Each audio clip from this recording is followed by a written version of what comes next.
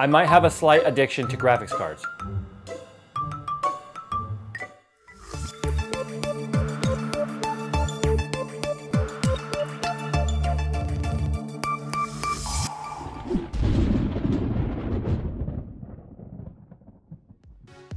What is going on guys, Jay's 2 cents here bringing you another affordable graphics card review. Unfortunately, I'm not wearing the brightly colored blue shirt that I tend to wear when I do an affordable product review because it's dirty. And I don't wear dirty clothes on camera. At least not that you can see. And I'm not talking about my pants because reviewers don't wear pants. So recently AMD launched the R9 285 and to a lot of people, including myself, this card was a little bit confusing. I didn't really quite understand why it existed. I mean, we already have the 280 and the 280 was already beating the 760 in pretty much every single test. But then when you start to dig a little deeper in what the card is, you start to realize it truly is a uh, successor to the R9 280. Now the reason for that is the R9 280 is pretty much a rebranded 7950 graphics card. It is not GCN architecture, it doesn't have true audio, it doesn't have any of that stuff. And that's exactly what the R9 285 is bringing to the table. What I have sitting right here actually is the R9 280 from XFX. Now why do I even have this out here when this is actually a video about the VisionTek Radeon, Radeon R9 285? Well, it's to show you how far they've actually come with the design.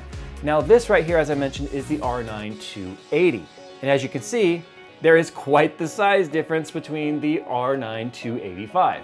Now what if I told you the card on top is actually stronger than this card in every single way? Yeah, that's why you take it and you pretty much just toss it aside.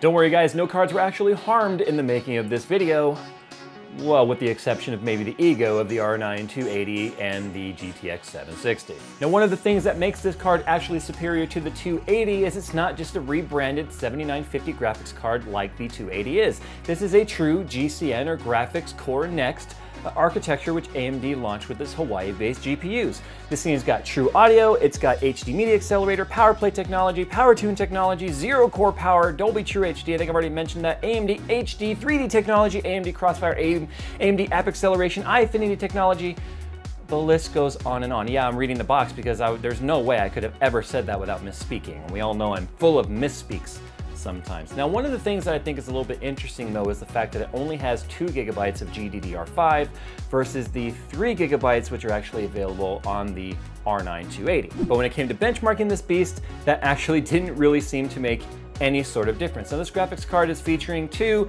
DVIs, a DVI-D, a DVI-I, it's got dual link, HDMI, and DisplayPort natively. Now the cooler on this thing I'll be honest with you, when I saw the pictures of this, I expected this to be kind of a cheap plasticky shroud. That's not what you get here. You get a full metal design on this. It's very, very sturdy. In fact, it doesn't flex, it doesn't creak, and when it's mounted, because it's so short, the card, the card is so short, it doesn't droop.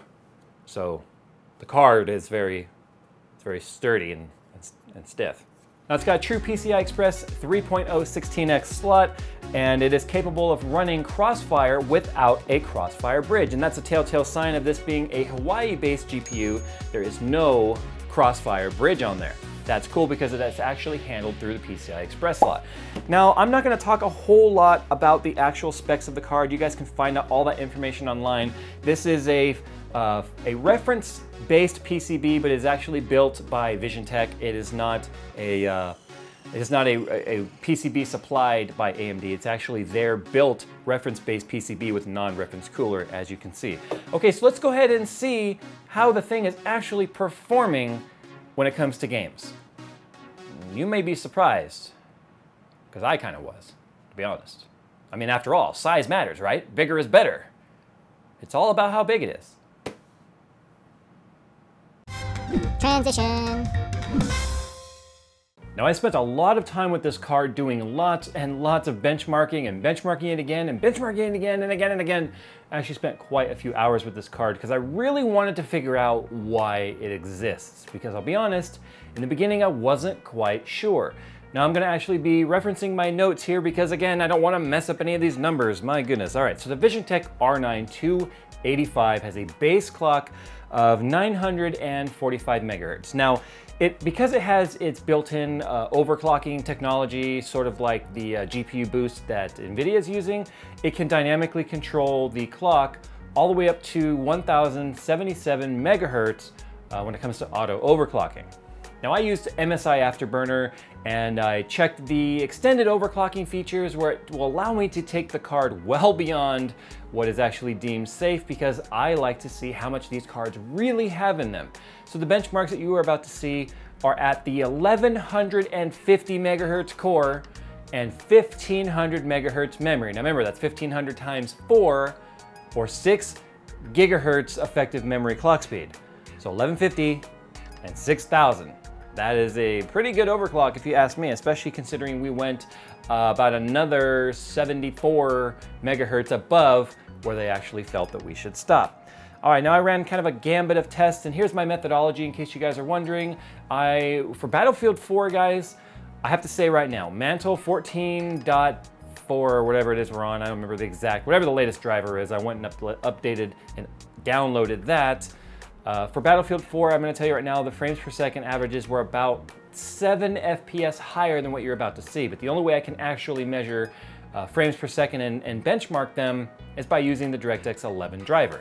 So if you're using Mantle, which is available to you, you should be using it, you're gonna get a few more FPS average. That's kind of a big deal, make sure you're doing that. But these tests I'm showing you are with DirectX 11.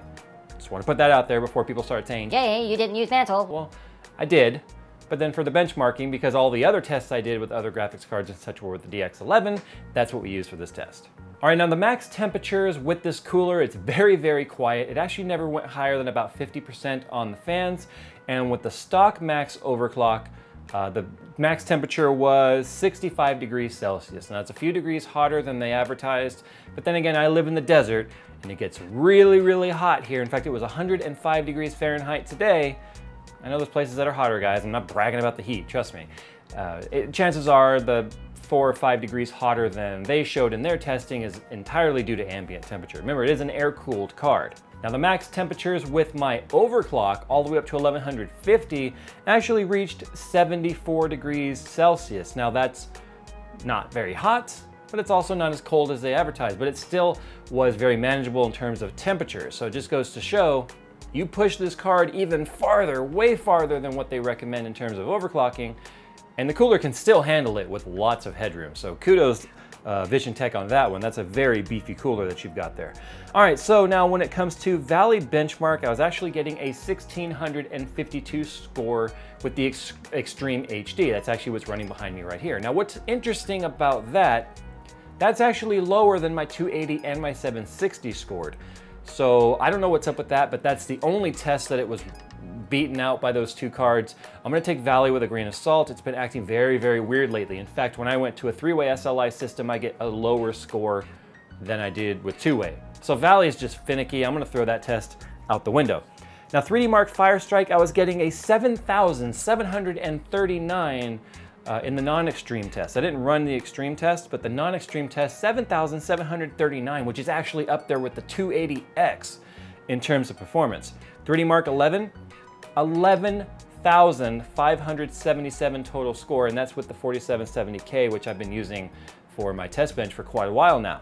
That beat out my GTX 680, that beat out the 280, it beat out the, two, uh, the 760, overclocked.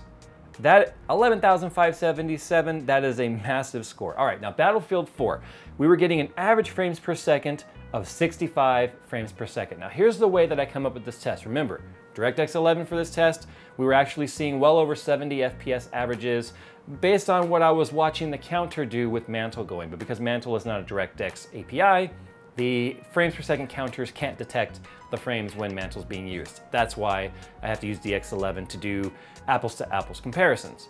Now, when it comes to my, te my testology or methodology, I will run the Fraps benchmark for 60 seconds and I do it 10 times per match. And then I play another match. It's Paracel Storm 64 player. I play another match. I do another 10 60 second runs, and then I do it for a third time. And then I'll take the averages of the averages, if that makes any sense. So I'll average those 10, get a number, average the next 10, get a number, so I end up with three numbers, and then I take the average of the three. That's how I get my overall frames per second averages. That's my methodology. It's probably different than everyone else's. Just uh, take that for what it is. So Battlefield 4 was 65 frames per second average. Now Tomb Raider, Tomb Raider, I went ahead and put this at the uh, the extreme preset or ultra, I can't remember what they call it, but the highest preset with you know tessellation going and TressFX and all that stuff. We were getting a 72 frames per second average at 1080p with everything maxed out. And it was very playable, no choppy, uh, no choppiness whatsoever. I actually had a good time playing it. In fact, I kind of forgot that I was doing the bench test and I kind of kept playing and I was like, oh yeah, I forgot I never beat this game. And I kind of got into it. So I played that one for about an hour during all this bench testing. Uh, Dirt 3, an average of 129 frames per second with all settings maxed out at 1080p. That was 10 frames per second higher than I was actually getting with the R9 280. So this card is a freaking beast. Now why does it exist? It's pretty simple guys. It's got all the GCN architecture, all the true audio, everything you would expect on the GCN architecture. Graphics Core Next, AMD's latest and greatest when it comes to technologies, all crammed into this tiny, tiny little card. It, it, it, I like giant long cards, and this thing is just bursting my bubble with bigger and longer is better. And it comes in at $250 and it's giving you all this types of, these types of performance. Now there's another reason why you guys should really consider this particular card is it has a lifetime warranty. There's only two companies on the market that are doing that, XFX and VisionTek. Guys, I stand by their products. You can't argue with the warranty. I rarely ever talk about warranty, but that's because it's rarely ever worth talking about. But a lifetime warranty is a big deal. Now this card is only available directly through VisionTek, so you guys are gonna have to head over to their website. They only do business right now in the United States. They are based out of the Chicago area, so you guys are dealing with a US-based company here in the United States. All their tech support, all their warranty stuff, it's all handled in the US. So I'll put a link down to their storefront. You guys can go and check out their card there. It was certainly worth taking a look at. Small package, huge performance. That's what she said. Guys, follow on Twitter. I'm gonna go ahead and get the heck on out of here. The R9 285.